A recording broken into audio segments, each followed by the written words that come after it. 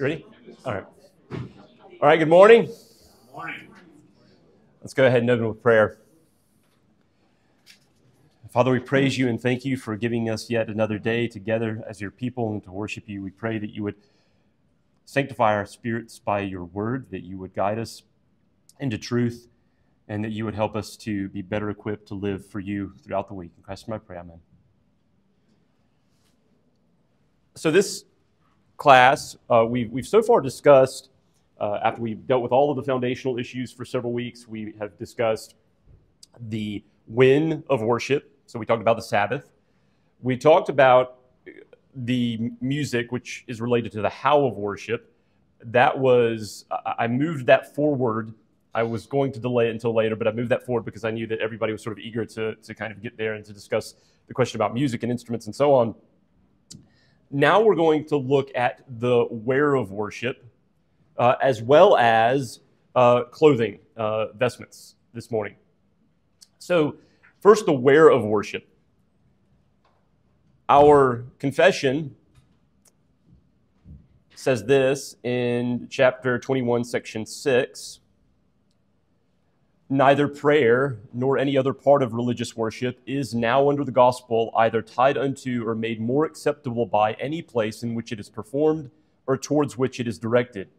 But God is to be worshiped everywhere, in spirit and in truth, as in private families daily, and in secret each one by himself, so more solemnly in the public assemblies, which are not carelessly or wilfully to be neglected or forsaken, when God by his word or providence calleth thereunto.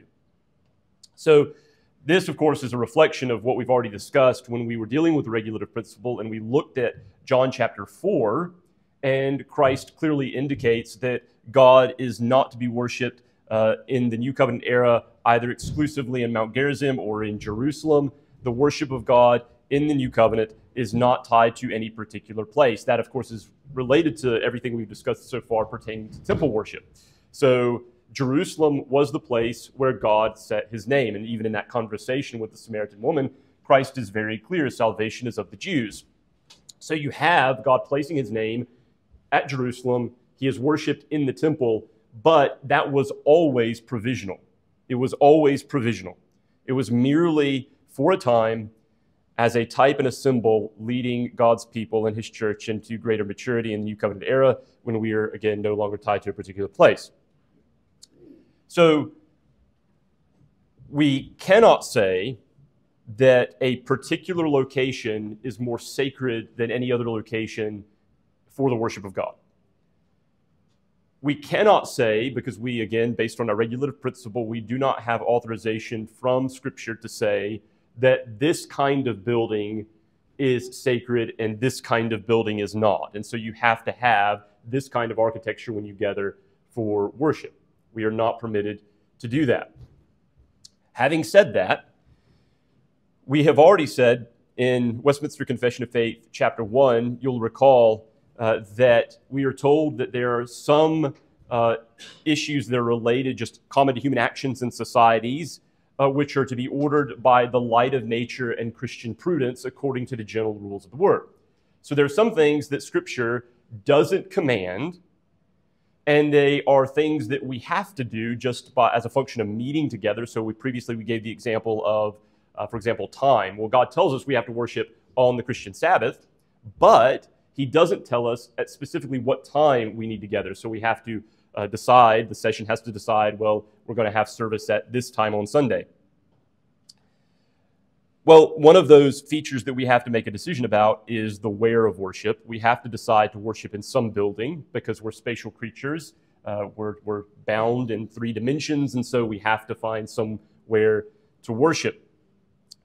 And given that the location needs to be determined by, uh, as, as it says, the light of nature and Christian prudence, that provides some guidance as to generally what kinds of places uh, we're going to, the, the way the architecture is going to work, the way the location is going to work, and so on. So, as far as location, obviously, we choose a place that is most convenient for the congregation, and usually that works the other way around. So, if you have a congregation that meets in a particular place, then people who are interested in finding a church in that area are going to go to that church. Um, but it, it, amounts to the same thing. We, we meet in the location that is a convenient, a sufficiently convenient drive for everybody. Now, as far as the architecture is concerned, again, we don't have a specific specific guidelines as to exactly what architecture is supposed to look like, but there is a theological significance to this. Early on in the history of the Christian church, the particularly by the fourth century, so early on, as you, as you all are well aware, you read in your New Testament, and this, this uh, continued for some time, you had Christians gathering in houses, right? So they would gather in private residences for worship.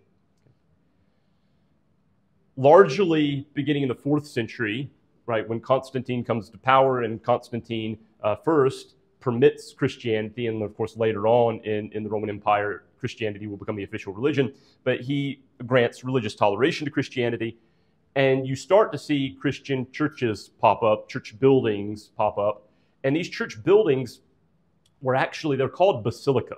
Okay, and so you have a Christian basilica. Does anybody know what a basilica is, or what it's named for? Okay, so basilica it's related to the adjective basilikon. Uh, it has to do with royal or kingly. The basilica uh, for Rome were actually government buildings. And these government buildings were where you would have uh, decide judicial issues and you would go before the magistrate there. And so it was called uh, a basilica. Christians just took over that model for their churches. They just turned the same style of architecture for those government buildings into churches. And this lasts largely or influences the, the way churches are structured all the way up. You see this in the medieval period and beyond. And so, just to look at the structure, this has, again, theological significance, you'll see. Um, so, normally you have the narthex or the atrium, so you have this introductory point. You have this is called the nave, and usually the nave uh, has one or more aisles on either side. Sometimes on each side, you would have little chambers that are prayer chambers. Okay? So you come up the nave, and then you have this, which is called the transept.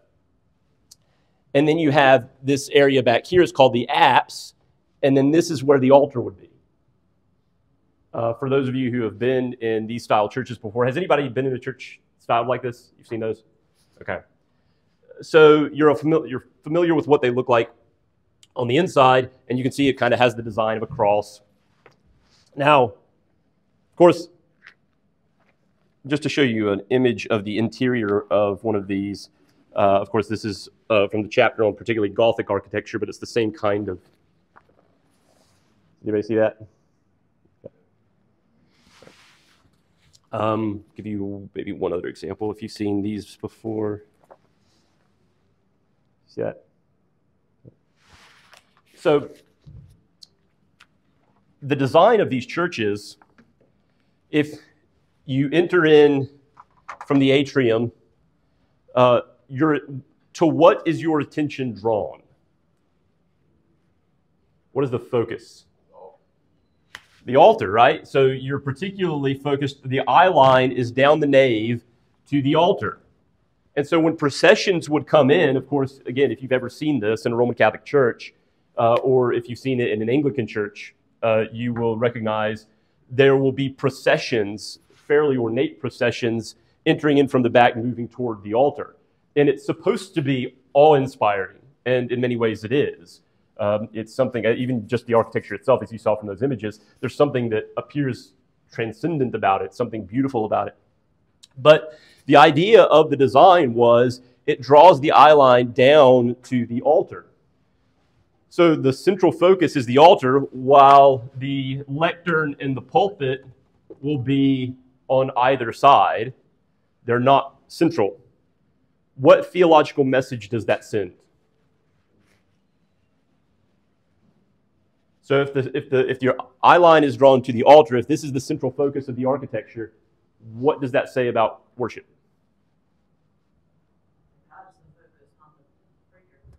Well, it's certainly true that, that they, they would want to say that God is the focus, but specifically what? Sacrifice, right. So the altar is the central act of worship in the Roman Catholic community. And of course, uh, uh, this is arguably taken over to some extent in, in, in Anglican uh, worship as well. And so you have the focus, is on the altar, and therefore the focus is on sacrifice. And as you can imagine, all of these things go together. We've previously discussed where you have a priest, there you have sacrifice. And if you have sacrifice, there you have an altar. Right? So all of those elements go together. Now, once we get to Protestant worship, Protestant worship changes this. So, particularly beginning in the 16th century, you see renovations to the way churches are, uh, are organized.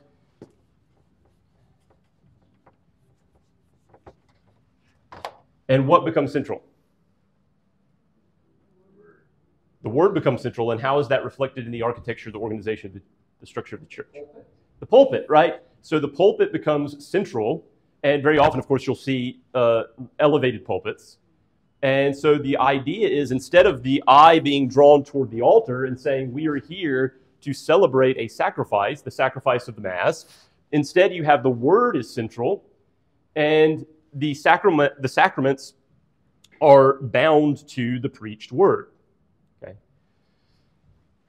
So you can see this, and we've attempted to do, to do that in, in our church as well. So when you look at the, the sanctuary and you look down the line of, of what would be the equivalent of the nave or the aisles, you're drawn to there's a raised platform, and central on that platform is where the pulpit is, where the word is uh, read and preached. And then you have below it the table for the celebration of Lord's Supper, and then back behind it, you'll see uh, the baptismal font. So the idea is, again, to prioritize. There's a theological, we're not saying that that you have to organize your church this way, but there is a theological rationale for doing so. It's reasonable to have the word prioritized and therefore to have the pulpit prioritized and everything sort of oriented around it and to not draw our attention to anything else. Now, another feature of Protestant architecture, uh, you may recall we've briefly mentioned it here before Baroque art. Uh, one of the purposes, at least one of the theological purposes of Baroque art was, does anybody know? The Counter-Reformation. Yes. Yeah, was to undo the Reformation itself. That's right. So Baroque, so Baroque architecture was in part designed as part of the Counter-Reformation because the Roman Catholic Church wanted to engage the senses of the people because they believed it would be an appeal back to the Roman Catholic Church. So, why do you need to do all of that spiritual Protestant stuff where, again, the word is prioritized in central when you could have beautiful paintings and you could have beautiful church architecture that, again, engages the senses? The same thing with music, it engages all of the senses. And so they would say, there's something more transcendent, more beautiful about this, come back to Rome. And so they're trying to draw people back into the Roman Catholic Church in that way. Protestant architecture and art, for the most part, even before the Counter Reformation, and hence why the Counter Reformation looks the way that it does, the Protestant churches generally rejected this tendency. Again, worship is not, there's not something more spiritual because your building looks a certain way. There's not something more spiritual because you have a certain kind uh, of artwork in the building. It's not saying that artwork is bad. It's not saying beautiful architecture is bad. It's just saying those are temporal goods. They don't convey any spiritual benefit. They're just temporal goods and, and ones for which we give thanks and we ought to praise God for it, but it doesn't have, it's not itself an element of worship. It does not itself convey grace. And so Protestants wanted to carefully guard against any sense, uh, any superstition that would suggest that that kind of architecture, that kind of art would convey grace to the viewer or to the hearer.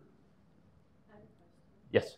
Um, now, in this Baroque period, is that when the candles came in, the lighting of the candles in the Catholic Church, or was that? That was that was prior to, so that had existed since the, since the medieval period. Okay. Um, and so that was antedated this. So, so you, the way you can think about it is Baroque art and architecture was, in some respects, carrying on consistently the same principles that had already been there. But what they were doing is they were sort of turning it up to 11 and they were emphasizing their distinctiveness over against the Protestant claims to be focused on spirituality and the preaching of the word. And so they said, we're going to distance ourselves from Protestants. We're going to say we're something different and something better. Come back to Rome because we have all the things that engage all your senses and that seems more transcendent, right? Um, yes? You mentioned a minute ago the elevated pulpit. Yes. What's the rationale behind that? Yes. So again, the focus is on the word, right? We have the the the central the pulpit in the center, and we have it elevated to indicate that the focus is on the word, and the word has authority over the entire congregation, right? It's elevating the the pulpit is elevating itself the word, which is to say, it's a it's a almost symbolic for elevating the word of God over the people. Here, I thought it was just so short people could see the preacher. that too. That too. Um, so yeah, so there's a there's a theological reason for it. Is that is that sufficient? Is that what you're looking? Okay. Yeah, the word is high and lifted up. High and lifted up. In sir. our denomination, I don't know of two churches that have elevated pulpits now. Hmm. One's Greensboro. Yeah, yeah. So uh, so I know also uh, First ARP. Uh, they have an elevated stage of that, and so some of them some of them do. Yes. When you say elevated, are you talking about up on the stage? Yes. Like ours, or elevated even higher? No, I'm saying, uh, I, well, I'm just suggesting at this point the fact that it is on a stage relative to the congregation does indicate that it has, it's symbolic of the, the, the authority that it has. It's not on ground level, right, uh, where everyone else is. Now, it is true that in the Reformation, you will see, uh, and you no doubt have seen these, you'll see pulpits that are really ornate and they'll have a staircase going way up and it's like overhanging the congregation so that the preacher is literally looking down on the people, right? And so it's symbolic again of uh, effectively the word of God is the voice of God, the voice of God coming from the heavens to talk to the people, right? It's authoritative over that congregation. So uh, in our case, it's sufficiently, I think it's on a stage, it's above the congregation, it still conveys this same idea. Um, and, you'll notice again, not only is the altar not central, um, we don't have an altar, right? So you don't want to con- uh, confuse, and, and we'll come back to this when we talk about the sacraments in future weeks, but we don't want to confuse uh, our view of the sacraments with the Roman view of the sacraments. The Lord's Supper is not a sacrifice, and so we don't have an altar. Instead, we have a table. Uh, you will see claims during the Reformation when they were talking about the celebration of the Lord's Supper that what you wanted was uh, they would sometimes use some variation of the phrase simplex munditiis. You want something that's a simple table. It's not so ornate that it becomes a distraction away from the supper itself and the act of the supper. So it's a simple table. It is the munditiis. It's elegant, right? It is neat. It's um, it's it's it's has its own beauty, right? But it's not it's not ornate. It's just simple and elegant. And you would have that table there, and they would actually have in uh, very often in, in Reformation churches, both on the continent and and uh, in in Britain, you would find they would have literally a table. And so when the congregation would come forward for the table for to celebrate the Lord's Supper, they would literally come forward and sit down at the table. Okay? Because it's a meal. And so you're coming there and you're it's not an altar, right? And so you come forward and you sit down at the table. And they would actually have, uh, I remember this is uh, John a Lasco's description of, of what their church would do. Um, obviously, if you have more people in the church that can fit at the table, not everybody can come and sit at the table at the same time. So they would actually rotate out. You would have the first group of people come and they would sit down at the table. They would partake of the, of the supper together. They would leave the table and go and sit down. And then the next group would come and they would partake of the supper together. And that's just practically the only way that they could see doing it. Now, we achieve effectively the same thing. We just have everybody served and then you all sit down and then we partake of the, the supper together. Uh, but they did want to emphasize that, again, this is not an altar, it is a table. And you'll notice that the table is, as I mentioned before, down below the pulpit because uh, we, don't want, we don't want to separate word and sacrament or see the sacrament as something that is completely distinct from word and alongside it. The sacrament, and, and in this case, particularly Lord's Supper, uh, is tied to the word. So the word is still standing over that sacrament. It's defining the nature of that sacrament. The efficacy is connected to the preached word and to believing that preached word. The elements themselves in isolation uh, do not carry that, that kind of efficacy. So, going back to, we mentioned, uh, so Baroque architecture was designed to engage, and Baroque art was designed to engage all of the senses to bring people back to Rome. Now, the Protestant reaction to that uh, is not uniform. And so you'll see very uh, a, a return to what some might see as an excessive simplicity. So there was a, a concern among some Protestants that we don't want to, again, be superstitious. We don't want to be caught up in, in what is just sensory. So we're going to move away from that and have strip everything down and make it completely bare. And that, again, is not wrong uh, because we don't have a specific command that you have to have this kind of artwork or this kind of architecture. And so uh, there was an attempt to try to uh, make it as simple as possible. Uh, the danger, I think, and particularly the danger in, in our time, is churches that end up stripping away any distinctiveness to a church building so much that what it functionally does is it just looks like any other kind of business. It looks like any other kind, it looks like a mall or something, right?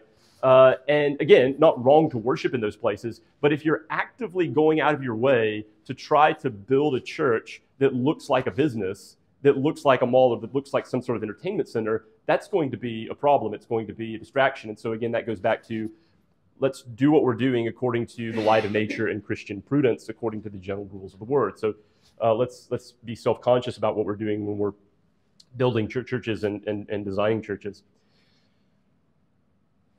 One of the best expressions, I think, of church architecture occurred in the 18th into the 19th centuries, and you had uh, the neoclassical style, and particularly in the 19th century, you had lots of Greek revival churches. And what this did was, it wasn't, they were trying on, on the one hand, they didn't want ugly churches. They wanted to avoid intentionally making their churches ugly because there's no reason to do that. You don't want to intentionally make your church ugly. On the other hand, they did not want to go the Baroque direction of trying to make the architecture of the art convey something spiritual to act as though that itself conveys grace or that itself is, is sort of transcendent. And so the, the, the best description of Protestant art and architecture, I think, is elegant simplicity. That's what they were aiming for elegant simplicity. It's not overdone, it's not excessively ornate, uh, but it is elegant. It's not intentionally ugly either. And so when you look at neoclassical or Greek revival churches, that's precisely what they were designed to do. They don't have this Baroque ornate arch- uh, artwork, they don't have uh, this um, ornate architecture. It's very simple, uh, but it was designed to convey both modesty and restraint. That's what it's designed to do. It's designed to say this is a place where we are focused on spiritual things and we have order, modesty, and restraint. So you can see an example of this. This is a Presbyterian church in Virginia uh, that was built in the 1840s. It's still today a conservative Presbyterian church, uh, which is surprising. That's not always the case. But this is Tabb Street Presbyterian in uh, Virginia. And so you can see this is, uh, again, Greek revival style. See that? And so, sorry, what? Looks like a pagan temple. That's right. It's, it's a, it looks a lot like, which of course you can understand. Originally, the church shied away from designing their churches, buildings like that because it had all sorts of connotations of being a pagan temple. Well, in the 19th and 18th and 19th centuries, there was enough sufficient distance removed from paganism. They had no problem appropriating that, and it was again, uh, it wasn't excessively ornate. It's simple, right? You have columns. It's it's fairly restrained. It's again to convey that kind of modesty and that kind of elegant simplicity. Now, this was uh, going back to we've previously discussed R.L. Dabney. Dabney actually makes the argument. Um, yes, sorry. There was on this particular church. There is not, um, of course, you would have very often you would have Greek revival styles that would still have steeples. Um, so that's not out of the question. Was there another question? Somebody? Okay.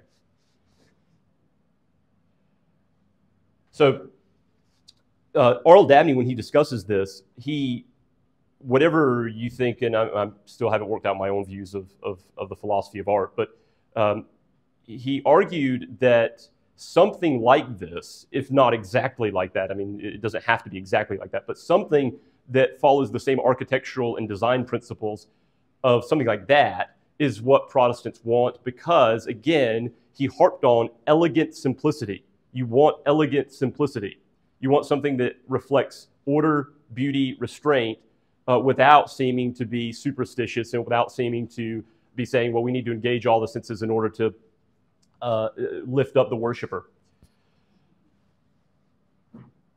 Are there any questions on that? Any questions on? Yes. When did, uh, in the fourth and fifth century, with the, you know, talking about the uh, Christians implement this, basilica model, Mhm. when did they start that central altar and when did they start calling right from the get-go? That's a good question. Um, off the top of my head, I can't think of an exact date, but I do believe it was fairly early. Um, of course, again, this is several centuries removed from the Apostolic Church. And so I wouldn't draw a line from saying, well, you have them calling it an altar in the fourth century, therefore this is what they were doing. You know, this is somehow continuity with the apostles. But I- do believe it was relatively early. Yes. What is the significance of the steeple?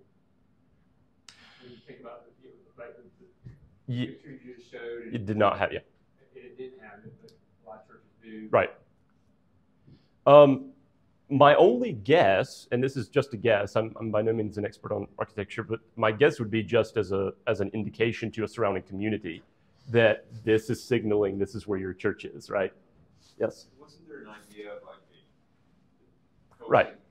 Heavenward? that's right, and you see that even with the medieval churches, and you'll see it not right. So it's vertical, it's heaven oriented. So you don't only see the steeple, you see even internally. If you look at the um, those vaulted arches, and you go in and so I showed you that image, you look at those vaulted arches, and it is designed to not only we've talked about drawing the eye forward toward the altar, but it's also drawing the eye upward toward heaven, right? That it's very. Uh, sometimes you would even have um, the aisles were typically lower than the ceiling than the nave ceiling, but sometimes they would actually put them at the same height, and they are just unbelievably tall, right? They're they're stretching to the heavens, um, which again is is is good as far as it goes. Uh, there's nothing intrinsically wrong with that, uh, and it is it is admirable that they wanted to have their eyes drawn to heaven. Uh, the danger again becomes you, you don't want to associate this with some sort of Tower of Babel, right? We're building we're building our buildings to heaven. We're going to reach our way up to God rather than Him condescending to us in His Word. Yes. I will say, having been to, into some of the churches in Poland and Lithuania and Germany, in that area, it is very awe-inspiring when you go into a Hmm. church with that arched ceilings, and it, it just almost, Sure. it's amazingly, Sure. uh, I'm awestruck when I stop Sure. thinking about the colors and the beauty of that church. Right, yeah, and it's designed for that purpose. I think um, one of the issues is you get the same sense, don't you, uh, when you look at mountains, right? The same sense of transcendence. You get the same sense when you look at the heavens, right? Uh, so I think that it's perfectly reasonable for architecture to reflect that, uh, but at the same time, that is a function of, of natural theology, not supernatural theology. That's a function of, let me put it another way. If you're going to build beautiful buildings, those beautiful buildings ought to be everywhere, not just in churches. So why can't a government building look like that? It doesn't say anything or shouldn't say anything specifically about the nature of that building or the grace that you will find there because it can't be attached to that place. But just as a function of natural beauty, well, sure, you can find natural beauty in all sorts of places. But however, um, going all the way back to sacrifice. Yep. You didn't bring a real image to the lamb. you didn't bring, uh, sick or hurt cow, oxen, or anything as a sacrifice. Mhm. You brought the best. So the, the concept of presenting our best to God would be, should go all the way through everything we do in our daily worship. Uh, that's true. So we want to do. The, the question isn't. Yeah. So the question isn't whether we want to do our best. That's true. We absolutely want to do our best. And the question is, what does the best mean? And that, since we don't have specific instructions in the Word of God, again regarding architecture, the way we ought to build our buildings, the best we can do is follow sound reason and Christian prudence, and that would suggest that yes, it ought not to be ugly. We ought to, if we're going to build something, let's make it beautiful. But at the same time, let's do so in a way that reflects that elegant simplicity of Protestant theology, that reflects the modesty and restraint of Protestant theology, and not, say, again, something like Baroque art and architecture that is specifically designed to draw the senses away from the spiritual. Yes, Um, so obviously, uh, we have to have a place to work. that's right. Whether it's outdoors or under in a structure or whatever, um, or if you know it was uh, in the catacombs or wherever. Sure. You know, um, but uh, we no longer have an earthly temple. Sure. Um, and so the building that we're meeting in no longer is somehow designed to. This is just reaffirming. Yeah, sure, sure. Yeah, designed to convey anything spiritual in and of itself. That's Um, and that's why the simplicity that you're talking about, right? that's right. So the steeples, um, when we were in Charleston, uh, I was told that um, the tallest building in Charleston is not, by law, is not allowed to exceed Sure. the highest church steeple. Sure, sure. Um, to see it over. so over. that they would be able That's right. to see the churches That's right. um, in the town. And I think that's appropriate Yep. um, because then you're talking about being able to distinguish between a building That's that right. is not a church. That I think is useful Sure. for the purpose of people being able to recognize, oh, this is a church. Yeah. Um, but not some sort of a spiritual. That's right. That's right. I think that's exactly right. So that's a you again that light of nature and Christian prudence says the church is central to civic and social life. And so when you have a design, you could do something like that, and it's obviously it's obvious to everyone that's the church. It plays a central feature in our corporate or communal life. Wonderful, but at the same time, you're right. It doesn't actually say this particular building is going to convey grace to you, right? Um, and so I think trying to maintain that distinction, maintain that balance is appropriate. Uh, and, and I do think there's something to the belief that, uh, you know, consistently taught Protestant theology will lead us in the direction of art being uh, elegant and simple uh, rather than excessively ornate, um, because it's a reflection of the, the restraint and modesty found within natural law itself. Um, any questions or comments on that? Yes. Um, going back to what you're talking about with the word table, it reminds me of the church that we went to in Indiana's Archie Church. Mm. There was a, uh, railing along the stage, Mm. and you said we used quarterly in the evening service. And they had built an extension that went over the railing and came all the way around, and they would set up chairs on both sides of that. Oh, wow. railing. And we, the whole service, we took, the- Sure. was the Lord's table. Yeah. And it wasn't called a sermon, it was called the table address. Wow. Yeah. And we did the entire service sitting along. Right. That's exactly. Yeah. Yeah. And so some people still try to maintain that uh, that it is a table, that it is a meal. Um, the in in the Reformation, there were at least some churches, and this is interesting to me because I don't know. I can't remember the size of this particular congregation, so I don't know practically how this would work out. But they had the instructions in their in their book, and, and what was effectively their directory for worship. They had a portable table. And so they would literally set up for the supper, they would bring in that portable table for celebrating supper. Um, I can't imagine that it was that large. You know, how many people could you actually sit at this one portable table? I don't know. Uh, but yeah, so even when even when we're celebrating it, I think it should. Uh, we want to make sure that we understand it and, and we reaffirm this uh, that it is a meal that we're sharing together. It is uh, a supper, and granted, it's not one table, but you all are sitting together at this meal and sharing it. Now, uh, next, we're going to briefly talk about uh, vestments uh, what was called the vestments or the Vestiarian controversy. Uh, you all know what vestments are.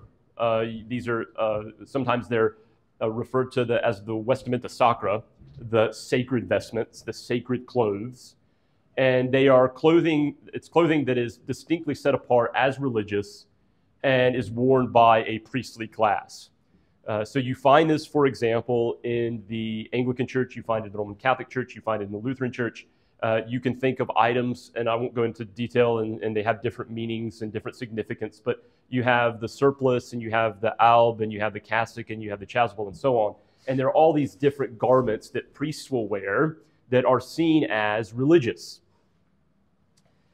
Now, going back to our regulative principle of worship, we do not have specific instructions, either uh, expressly or by good and necessary consequence, in the Word of God, telling us that the priest ought to wear a certain kind of clothing in the New Testament period. Now, in Exodus chapter, I believe it's 28, you do have specific instructions for the Old Testament priesthood saying they need to wear this kind of clothing. And it specifically says that it's for beauty and for glory and it is set, set apart as sacred. So you have sacred clothing for the priesthood. But remember, this is associated with tabernacle worship and later with temple worship. We've already discussed with the coming of the New Testament, all of that has passed away. So you don't have, not only is it that we don't have priestly garments anymore, uh, we don't have a distinct priest class anymore. It was a type and a shadow. So all believers are priests, right? And we have one high priest, Lord Jesus Christ. And so we don't have a, a, a, distinct priestly class, and therefore we don't have distinct priestly garments anymore. This was an issue of contention within the Anglican Church in the 16th century, giving rise to what was called the Westminster, the Vestiarian controversy. A man by the name of John Hooper uh, was a member of the Church of England, and he rejected vestments. He did not want to wear them. He thought that this was uh, an impediment. It was connected, of course, again to Roman Catholic worship. Uh, and he had learned from his time on the European continent that other Reformed churches did not have vestments. Even where they had gowns, and we'll talk about that in a little bit, even where they had gowns, they did not have vestments. They did not have a distinctly religious garb. Now, this, of course, became uh, a problem. There were debates about this in the 1550s and into the 1560s. There were ministers who refused to wear the vestments. They would not sign on to this in the Anglican Church, and so they lost their jobs. Uh, they were fired, and they were given a, a period, a, a, grace period, where they were allowed to change their mind. Uh, but if they didn't, then you were out, and you were not going to receive a salary as minister anymore. This is also the time, because of this controversy, that you see the growth of English Presbyterianism. English Presbyterians rejected this again on the basis of the regulative principle. So the debate basically went like this. One side is saying, you can't command this. This is not something that it's a, it's a thing indifferent, what they called adiaphora. It's a thing indifferent. And so we don't need to bind people's consciences and say to be a priest, you need to wear this kind of clothing. The other side said, we grant that. So there were many Anglicans who said, sure, we believe it is a thing indifferent. We don't believe it's commanded by God, but we believe, for the sake of the unity and order of the church, that the government, the, the crown, and the church itself can impose this on its priests. We can make you do this. And you can think about how this comes up later with the Book of Common Prayer uh, in the 17th century. It's going to be the same kind of argument that's being made with the Book of Common Prayer. So there were going to be people saying, again, lots of stuff is good in the Book of Common Prayer, but you can't bind our consciences by saying we have to use this each Sunday. And then you're going to have the state, uh, the state church come back and say, well, we can make you do that for the sake of the unity of the church, even though it's not commanded by God. And so this already is occurring in the 1550s and 1560s with the, the vestments issue. And so you have this debate about, well, can the church, can the state tell people, even when it's not commanded by God, that you have to do something, you have to do it this way, and that you're required to wear these particular religious garments. There was a moderating position as well. So there were some people who advised, uh, even from the continent, when they were asked, they advised some of the Anglican uh, ministers. They said, well, how about you do this? You have to wear the garments in order to keep your job, in order to be a minister. But you believe that it's wrong you believe that it's wrong for the church to impose it. It's not wrong to wear it, but it's wrong for the church to impose it. And so they advised some of these ministers to wear the garments, but preach against them. Right? Okay. And so eh, it's it's it's a sometimes out of practical necessity, it was what they had to do. Um, and so some saw that as a fitting strategy that well, we don't believe the church has the authority to impose this. We don't believe it's intrinsically sinful to wear them, but we don't believe the church has the authority to, bind our consciences with this and to oppose it. So even as we wear them, we will preach against them.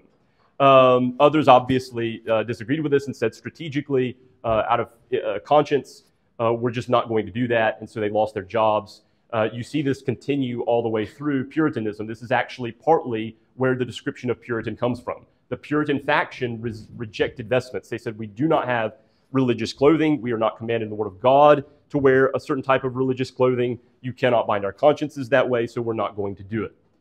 Um, now, the question then becomes okay, so we don't have in our church, because of the regulative principle and because of the spirituality of the church, we don't have a distinct priestly class and we don't have religious garments for our ministers. So, why do Eric and I often wear the Geneva gown? Any guesses? Simplicity. To minimize you as you preach the word. Certainly helpful. It's certainly helpful for that purpose.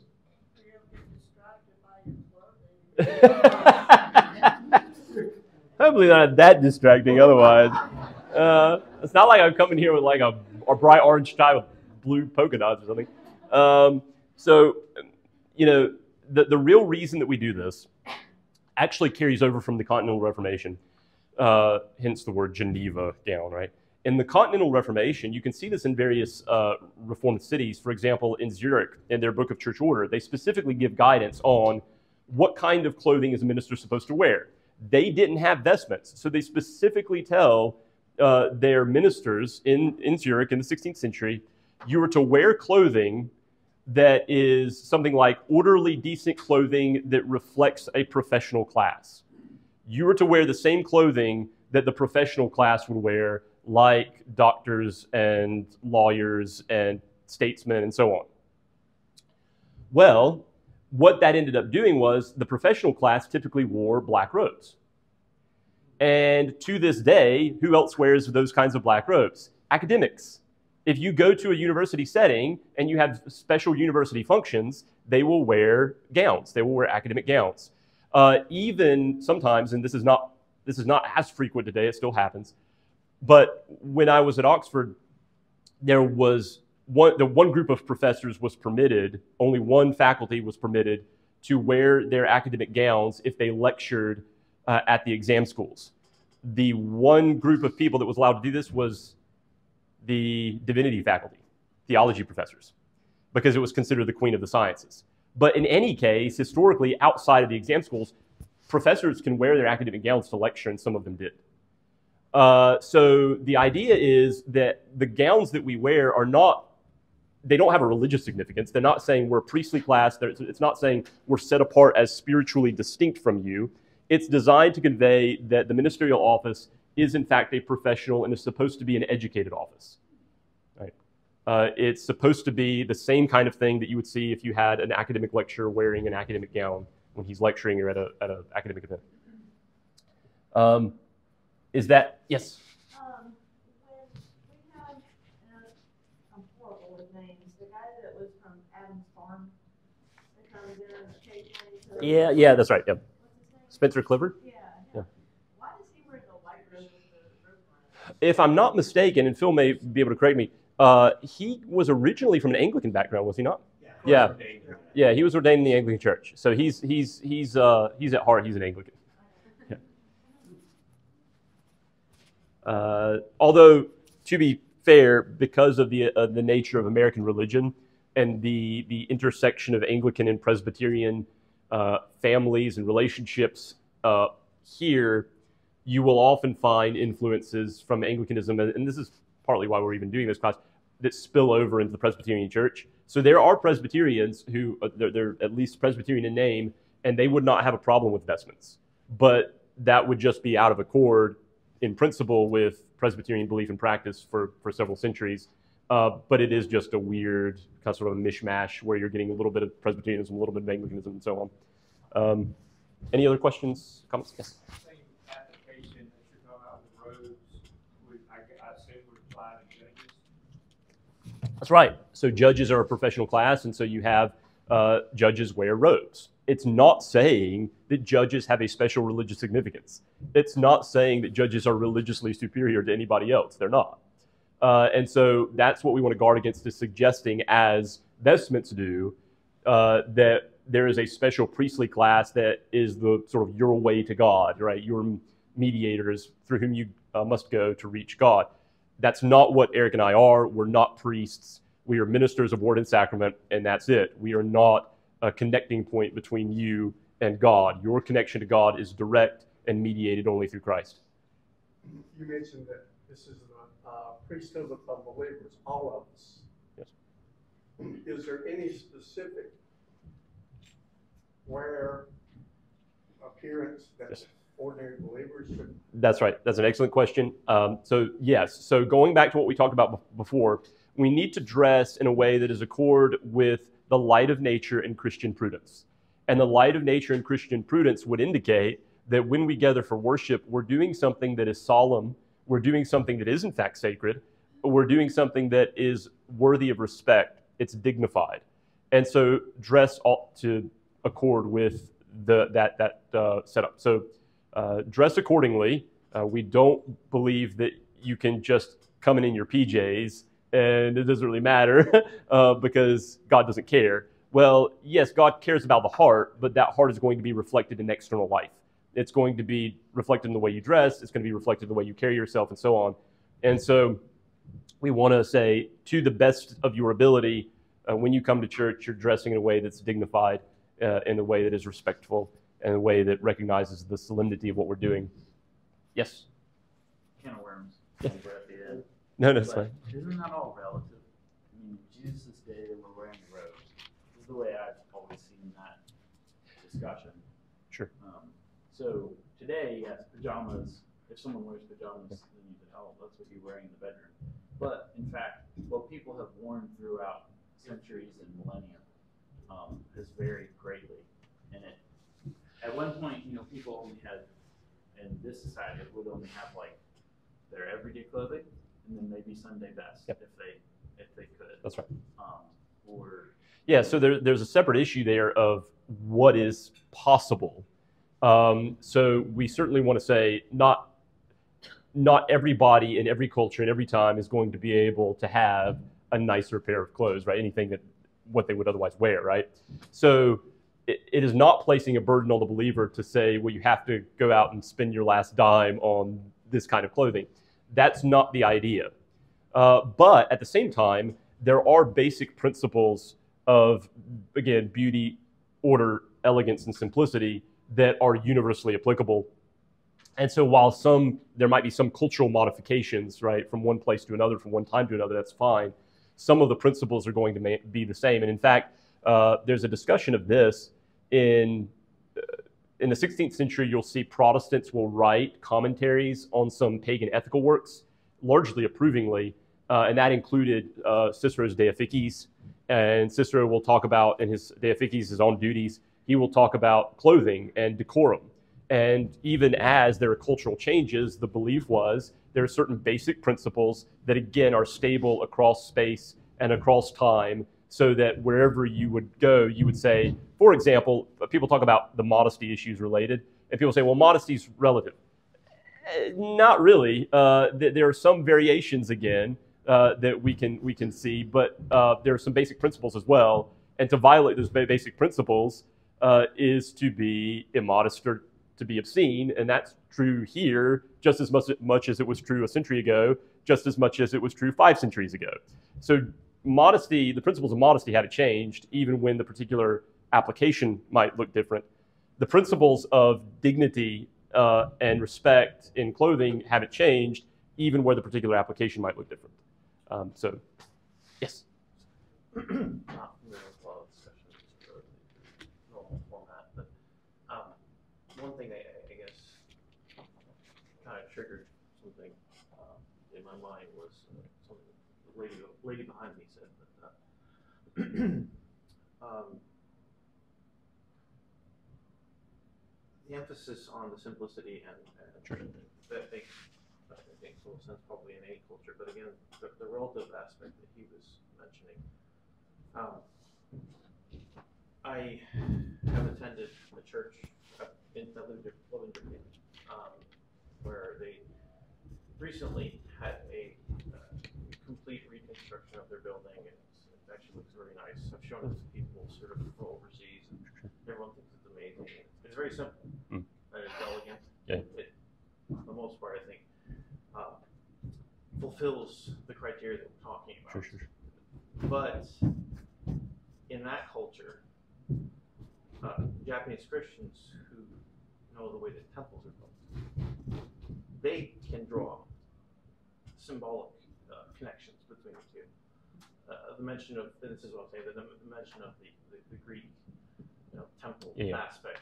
Um, I would think that those principles or those concerns would, and what, if people are able to draw parallels or basically become a stumbling block, Sure, sure. should far outweigh any of the simplicity and elegance and trying to find absolute, um, uh, not absolute beauty, but the principles that you're talking about. Um, I'm not saying that you didn't have to address that before, I just, Yeah. something that kind of bothered me a little bit. Yeah, no, I think that uh, if I'm understanding correctly, so yes, you don't want something like that to be a stumbling block, um, but there are other ways around that without violating the principles because the principles have different cultural expressions anyway. So uh, what's going to be so elegant simplicity in Japan is going to have a particular expression. Elegant simplicity in Western Europe is going to have a particular expression. Uh, elegant simplicity in North America is going to have a particular expression. And so since the, you have different expressions of those particular principles, uh, it becomes possible then to at least envision even to get away from those associations, even buildings we have not yet designed yet that still follow those principles but are sufficiently distinct to set them apart from anything like paganism. I, I, I agree with that. Yep. Just, that's one aspect that you can't get away from. Sure, sure. make this argument. Yeah, you, you're never going to be able to to get, get rid of particular application and, and having to apply it in particular ways. Um, that puts us at time. Any, any last minute questions or comments? All right, let's go ahead and close in prayer.